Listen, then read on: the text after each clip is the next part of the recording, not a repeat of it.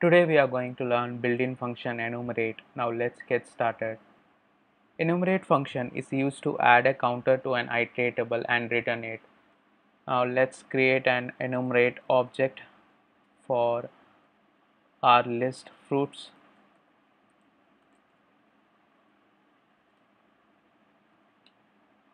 Here you can see it returned your enumerate object.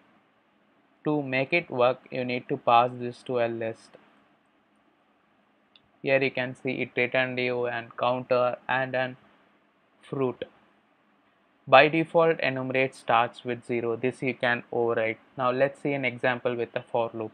For counter so here I am going to mention it as count.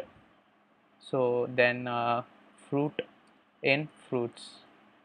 This you need to pass inside enumerate here I am going to specify the start value as 1 so that it will start with 1 now hit enter press tab.